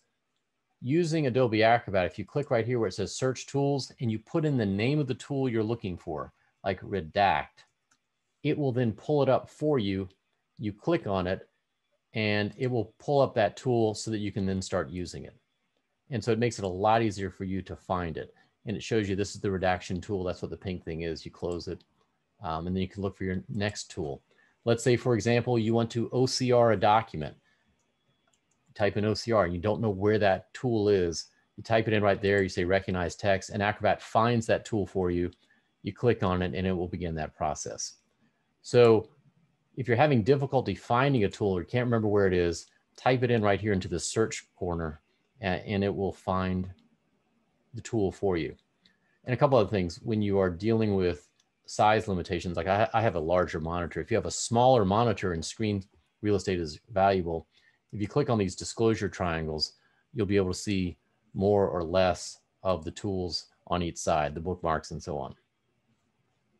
All right, so that's Acrobat real quick uh, bookmark. Da, da, da. All right, so let's look at Word now real quick for a couple things to do with Word that I think are helpful for lawyers to uh, use. All right, let's, this is what I'll call a typical document that you might be submitting to the court. And I'm gonna show you some things about this document that's a template that I use to submit uh, memos to the court and what I've done to set it up. Uh, the first thing is if you go to new document in Adobe Acrobat, you have there's a default setting in your sort of form temp a form normal document opens up. If you have set up, you can set up certain documents as templates. So if you go to new from template, Adobe Acrobat will present you with a series of, if you already have created them, templates that you may have created or ones, did I say Adobe? The Word will uh, present to you that um, you can use to start off a process. Uh, the reason why I'm showing you this is once you create a document that you want to be replicating the formatting for over and over, then you want to save it as a template so you can then pull it up in the future. Like I have a template for a state court memo versus a federal court memo, um, letterhead, envelope, and so on. So at any point in time, or even um, you know, intake forms, um, somewhere I have even appellate, uh, an appellate, uh, here's a Fourth Circuit brief. So I have these forms saved so I don't have to go back and recreate the wheel. But let's talk about uh, the particular document that I've already started creating. And I'll share this uh, template with you and talk about some of the tools that are available that you may not know about built into Word. a couple things are when you sometimes you will see a document that when you type text, your name starts appearing next to it and you're like, what the hell's going on? So if you go into the, uh, there's a track changes. I'm waiting for John to tell me where that is. Da, da, da, track changes. A review. So if you click on review, uh, there's a button right here that says track changes. When that is on and it says all markup, if you get a document that someone else prepared and you start making changes to it, it starts turning it these weird colors and um, it shows that the changes you have made. So this is additional text. Now, when that appears, um, that if you don't get rid of showing all markup, you, when you print this text or turn it into the court, the court will see it just like this with little notes about who made those changes. The reason why it's not appearing right here is because I'm the same one that's done this change. Uh, sometimes when you, you may see somebody has filed with the court a what appears to be a PDF, which is a Word document where there's a whole bunch of markup changes on the side because somebody didn't get rid of them. In order to get rid of that sort of red color, and I'll zoom in on it.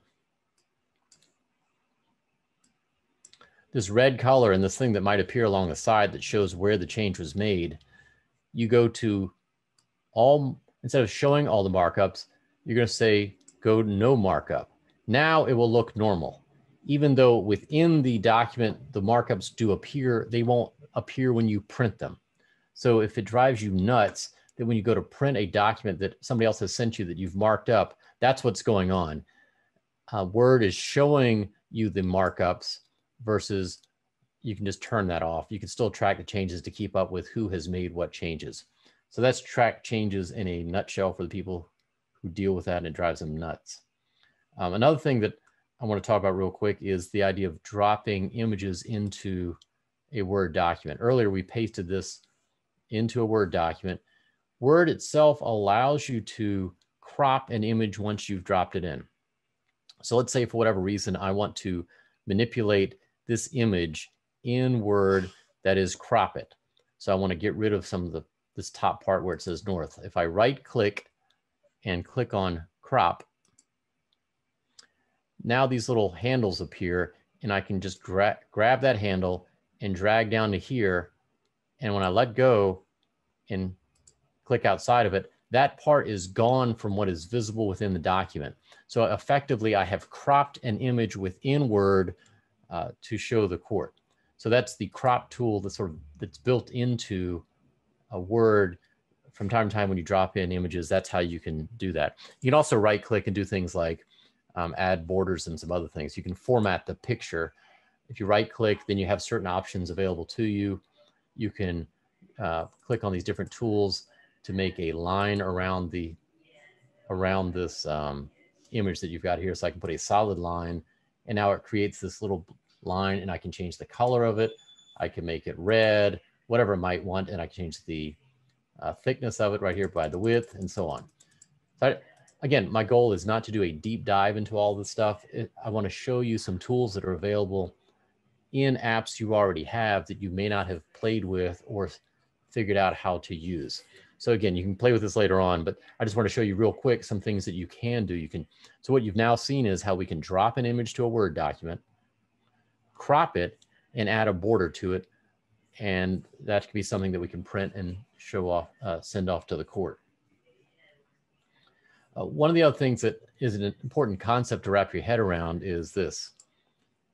In a document, a lot of times this isn't visible. You may just be used to seeing a document that looks like this. You just see the words. And you may not rec one of the things is this. I've got this tool right here, which show hides formatting. So when I click this on, I can now see the what I'll call the hidden codes within the document to see what Word is doing. Like right here, if I zoom in,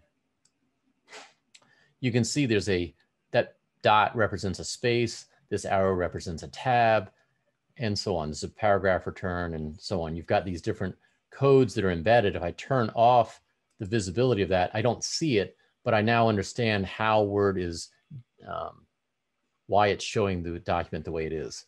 So that's a tool or a feature you might want to use that show and hide. If you have problems with formatting, that's a great thing to turn on to figure out what's going on in the document. An important tool to get used to is the um, style pane. And let's see if we can get our heads wrapped around that. So let's say we've got a brief we're working on in which we have a heading, something like concise summary of the nature of the case. And I've typed some text for the court to use or to explain my argument for the court. You then have a next level of something. If I, this right here is a particular is a formatted style. It is a heading style. And this little dot to the left shows me that it is a particular kind of style. If I go to the style pane, I can now see it is of the kind heading one. I can now make a formatting style that is called heading one and will always represent a certain way of looking. So imagine you're drafting a complaint, or if you're in a memo, you always want to have heading one be maybe the causes of action, but with a Roman numeral one or Roman numeral. You can set that style up and then repeat it, and you don't have to reformat it each time. And I'll show you an example of that. So let's say, so here's another place where this same style appears. If I click on it, that's heading one style. If I go to this one right here, you see it changes into heading two. And it's actually formatted slightly differently. It's got a, a number and it's got uh, 14 point font times uh, New Roman. Let's say for whatever reason, I always want the heading two to be uh, red for whatever stupid reason. If I select that, then it's only changing this particular one. And that might be what you're used to when you type a complaint. You go through and you manually or physically format each part of the complaint and it drives you nuts. If you have repeat sort of styles or headings that you're going to be using, you can tell, remember this is heading two. So here's another heading two kind that doesn't have that color. But let's say I always want heading two to be red. I can type or select in this area and I go to heading and right here I can click on drop down and do modify style. And what I'm going to tell Word is every time I'm dealing with heading two in this document, I want it to be a certain way. I want it to be maybe Times New Roman 18 points. I want it to be italicized. And maybe I want to even change, uh, if I go into font, I might be able to change some other specific things about that font. So for example, let's say I want, um, I'm just waiting for it to pull up. I want it to be small caps. And I want the, I'm looking for color to be blue. And I hit OK. From now on, when I hit OK, that's just because I selected that one to be red. These have all changed to reflect that. The reason why this did not is because I had manually changed it to have a different color. Let's say I now want to format this style to match this one. If I click on it once, there's actually a paintbrush tool right here. And what that does is it copies the format of the formatting you have to a different place. So I've selected within this format of this style, I click on the little paintbrush and then I click right here. Try this way, think. So now I'm going to select that style there and it now makes that match that same kind of formatting style. So once again, let's say I always want heading two to be a particular way within the document. I'll modify the style and you'll, you'll watch, I'm trying to point, but you can't see what I'm pointing at. So I want to watch these uh, two and one change. So I'm going to change it from bold and italics. I'll get rid of that. And I'm just going to hit OK. It automatically changes those styles throughout the document. So again, you, this allows you to pre-format and set up a certain way that you want your document to look and you don't have to reformat it each time you um, create text. Another example is this. let's say this was going to be a deposition quote. I've got a style set up for deposition quote. So if I click on it, it automatically does it as a courier font and it centers it within the document. So imagine when you're typing up a document and you're putting in this information, all the things that you would have to do to get it to be formatted to look like that, uh, you can take care of with setting up a style and then just um, selecting it on the right side using the style pane to uh, format it that particular way. So that's it in a nutshell. You can learn a lot more about it, but I don't want to um, spend too much time on that. And let's see. Oh, another feature people often ask about is dictation. They say, hey, should I get some dictation software for uh, my Mac? What dictation software do you recommend? Built into a, uh, Word is this little dictate button. If you click on it, and right now I'm, I'm just going to tap right here, and I want to start talking. This is an example of dictation. So it automatically typed whatever it was. Uh, you don't look, I didn't need any head you know, ma magic headsets, no $200 software. It's built into the software. So the ability to dictate into it directly into document exists for those of you who like to, who still like to dictate things. Um, track changes, drop images, da, da, da. Okay those are some things I covered in Word. Let me, let me talk now about an IPEVO. I can't tell if there's any questions. Do I write all my complaints in Latin? yes, I do. That's, I don't know the Latin phrase for yes, but yes. Um, let me show you something that I have been using for a while, this IPEVO device and how I use that and what it can be used for and how that might work. Uh, let's see that. All right, so while you're switching, sorry to interrupt you. Somebody asked if you're able to zoom in on your screen so they can see more easily. Yeah, I told them yes. The answer is yes. That's actually a feature built into Zoom. I, I said I think I said in the beginning I have a larger monitor, so within Zoom itself, whoever has the issue, you can actually there's some settings for, and I can't remember if as a host I can see them now, but when you click in the view, there's some settings that you when you are watching you can change how you see the program.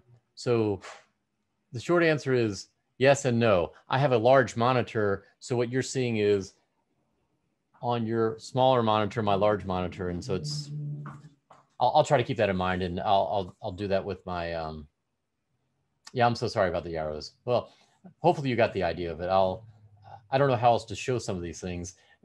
With Zoom, if I show the entire window of a particular app, you may not be able to see the menu bar. And so that was the compromise I tried to reach. So I apologize. So well, I'm going to try to show you some things with, I'll take that into account as I try to show you this thing with my IPEVO.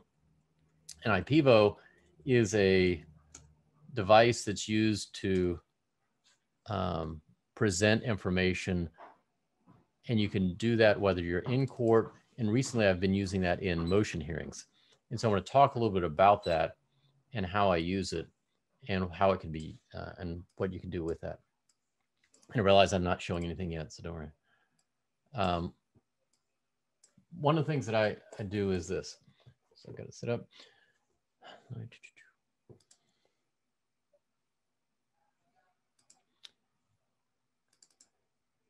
Um, I realize now that I've shown it. An IPEVO is a device that's used, uh, it's basically a camera on an arm and it's sitting here to my right. I'll show it to you in a second on this camera. But right now, I just want to show you what it can do. What I try to do in terms of setting up this IPEVO is in order to um, make sure when I go to present something for a court or for deposition, whatever it is, I use a drawing pad that lay down and I and set it up just right, whatever I will put, if I put it there, it's almost like a built-in frame. So I know what the court witness or somebody else will see. So I suggest that you either come up with a frame or a size document or just take a 11 by 17 piece of paper and draw a square around it and come up with a place that where you know you'll put a document, it will be seen. So that's, that's just sort of what I'll call step one when you set up the IPEVO, you want to make sure uh, that there's a question about the dictation tool. It's somewhere in Word. I don't know. You do a Google search for it. Sorry. um, I'll try to pull that up towards the end. So when you set up this IPEVO, it's got an arm, an articulating arm, so I can actually pull the camera up and down and bring things in and out of focus. One of the things I highly suggest you do is, this happens to be at the edge of my desk, right next to my trash can. So when I show up things, when I turn on something for court, I make sure not to start off there. so have your, know where, pre-set up your IPEVO or whatever it is you're gonna be doing, know what's gonna be in the background, orient your camera first and have that piece of paper ready to go so that you're not showing things like your book bag or whatever else it might be um, nearby. Now, let me show you an example of using an IPEVO that I had uh, for court. I think, can y'all see the IPEVO, the screen that says IPEVO here or, or not? Yes. Okay, good, all right. Um, what this window does, it allows me to control information I'm going to be presenting to the judge. So this window,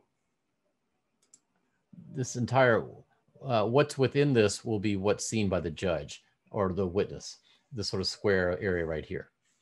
These are the tools I have available to me as somebody who is presenting it or using the tool. So one of the things that I can do and I like to use is this little box right here so that when I'm in the middle of presenting something to the judge, it's like a window within the window so I can now talk to the judge or the witness and they can see me and I can be pointing out things on the document at the same time. Let me make that go away a second. All right, so now let's just say I have a document. Let me give an example of how I used the IPEVO or how you can use an IPEVO in a matter. I had a hearing recently for a judge which uh, the other side was arguing about something. We did a motion hearing by uh, webcam. It was, I think it was WebEx. And the other side was arguing about a particular order. And they were pointing out to the judge that the order that I was claiming said something. Um, I'll answer that question in a second. Uh, didn't support what I was arguing. And so they were making this big point that the that what Mr. Kahn was arguing about is nowhere in this order. And when it was my turn, I turned on my IPEVO and I said to the judge, I said, Judge, they were saying that the point I wanted to make and that I am making is not contained in this order. What the other side did not show the court was page two of the order. and had they shown you page two, they would have seen the point I was trying to make. And it shows exactly what I'm trying to argue.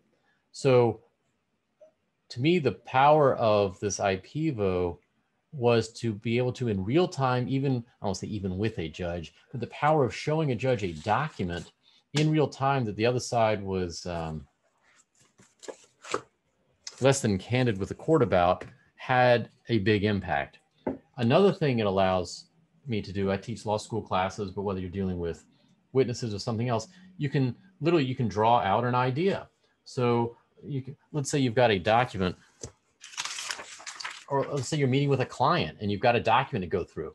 You're like, hold on a second. What do you mean about this part right here? Whatever it might be. So when you said that, you know, you can ask whatever questions of the witness or of your client about a particular document. So you can go through a document in real time with the um, witness. And what I'm doing is actually using a physical pen and marking up the document. One of the things IPEVO built into it is a, it's a free tool that you can download and allows you to use these annotation features. So right here where it says this, it's got this little pen icon. If I click on it, I have a, if I click on this color, I then have several different colors to choose from. Let's say I want to mark up this document uh, with this blue tool. So I can now draw here and I'm not actually destroying the document. You see the blue is you know, it's just within this window right here. So in real time, I can mark up a document for the court or for the witness, whatever it might be, and emphasize something to whoever's watching this. I can then take a picture of the way that document is now with this markup. So if I click on this camera icon, it, you heard the little camera thing, and it saves the picture with the markups into a folder that I can access later and print or do whatever with. If I want to get rid of those marks, I can just clear all and then it's gone. So one of the people asked where um, there was a, let me get rid of this feature. uh, they were asking how I did that picture in picture thing within this IPEVO app called Visualizer. It's a free app you can download from the Apple from the App Store. I think it's the same way on the PC, but I'm not sure. There's some boxes down here on the right. So if I click on this window right here, and IPEVO is, oh, here, watch, I'll do this. Somebody asked how to spell IPEVO. I P E V, oh, that's IPEVO. Um, and then I also have, well, I'll show you another one in a second, but um, so this is the picture within a picture. So if you, this little box allows you to have, if you've got a separate camera, it can put it within this other camera view so that while I'm arguing something to the judge, I could be, or to the witness or whatever it might be. Or imagine, I'm the, oh, let's say you've got a model of something, you know, a brain, I don't have a MediVisuals brain on me, but you know, you want to show somebody how to do a Rubik's Cube or whatever it might be. You can actually, you can show a 3D model to the audience so it doesn't have to be simply a piece of paper. That's one of the advantages in my mind of using a tool like this is you can hold up a model. And again, this can be used at trial, not just in this sort of um, COVID world. During trial, you can use a device like this to show things other than um, just pieces of paper. Uh, a couple of those, you can also do this sort of side by side thing. So there are a couple different ways to, let me go back to this. You can also do a sort of split screen where you have two different, where I have the camera and the document shown. So that's the, uh, those are some of the tools available for the IPEVO. Let me stop the sharing a second so you can see the tool that I'm using. So this is an IPEVO itself. And let me turn this on.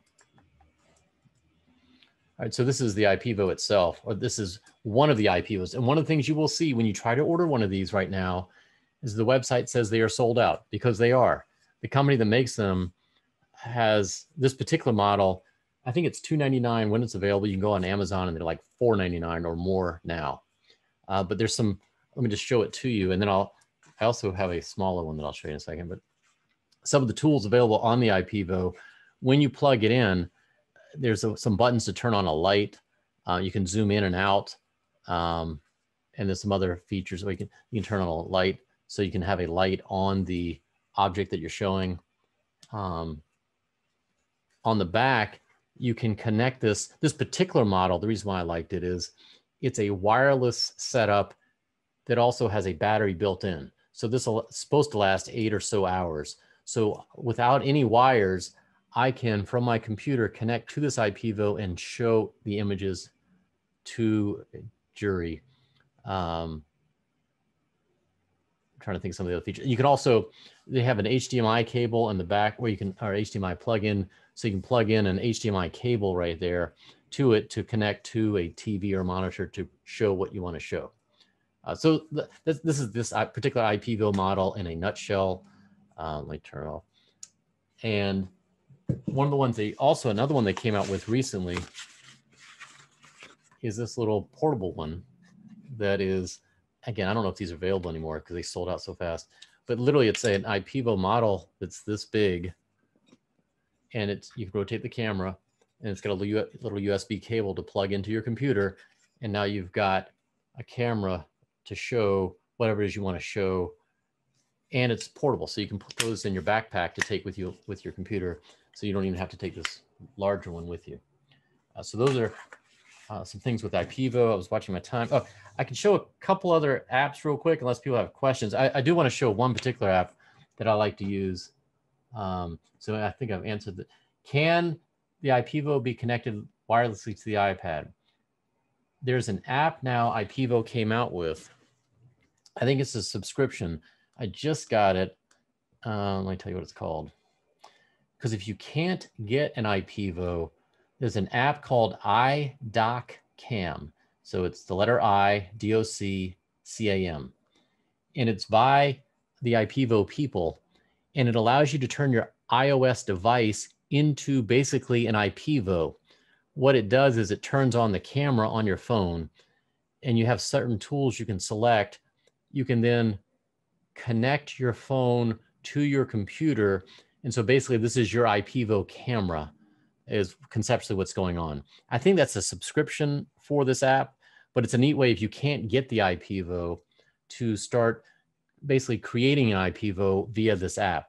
The other thing I would suggest is if you're going to be using that app to get yourself something like a tripody kind of thing that you're uh, uh, that you can get at like Best Buy, where you can connect your phone to there, rotate it, and that way your hands are out of the view and you're able to see whatever it is that you're showing.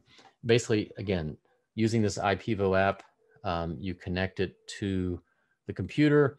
I just barely started playing with it, so I can't recommend it one way or another, but I know that's a, a potential workaround. Um, how to create the little box, I think I answer that. Dictation tool, I think, was in Word.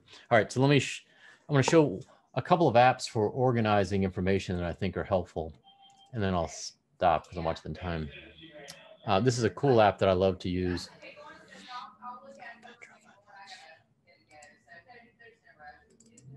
Um,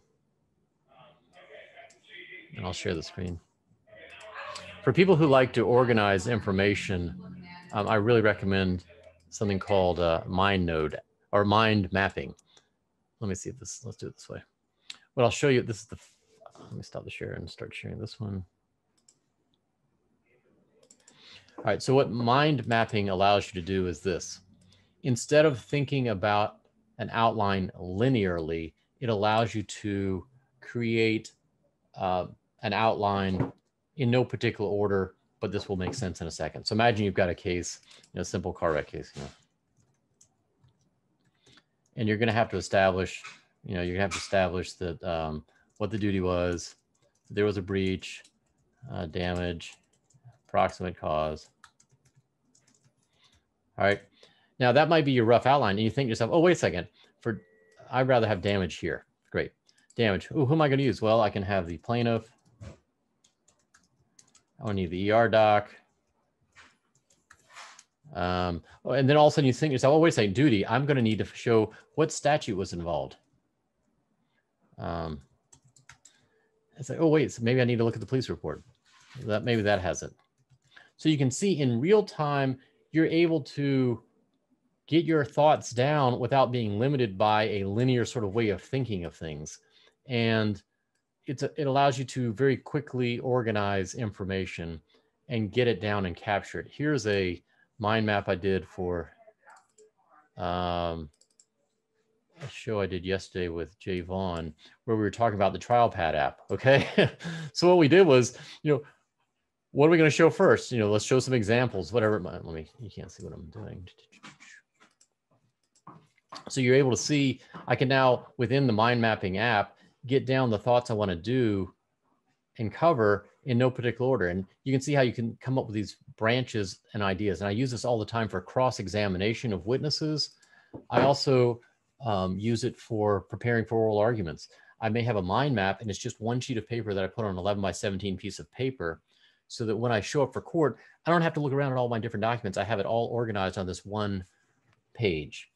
Um, I'm very aware of the time. I tried to buzz through a bunch of different snippets of ideas to make sure that uh, I gave you an overall, uh, some ideas to hopefully you can use for different kinds of apps and hopefully it was helpful. I'm sure we can cover additional stuff later on and hope if you have any questions, just email me at jskahn at kahnlawfirm.com. And I don't know if there are any other questions. I don't see any opening questions, open questions. I hope I've answered them and hopefully it was helpful.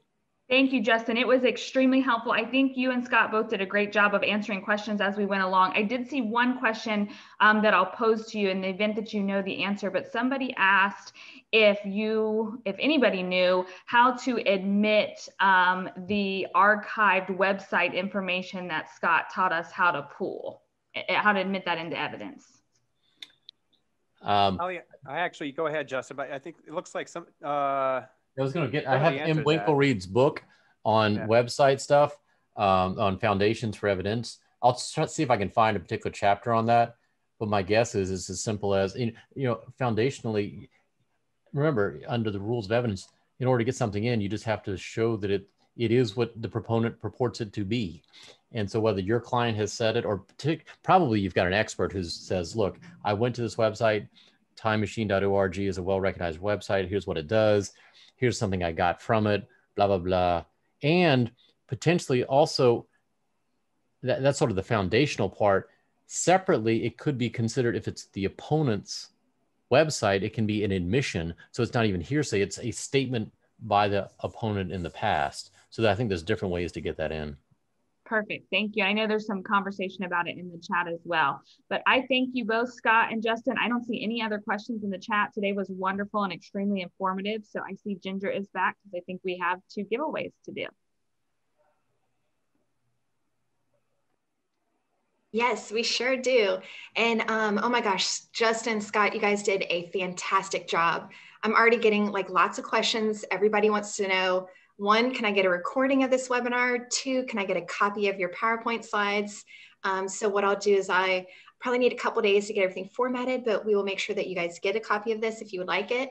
And then um, also send you over some of the materials from today. But highly recommend you know, Justin, Scott, they're kind of like my go-to guys. So if I have questions, I ask them and I encourage you to do the same thing.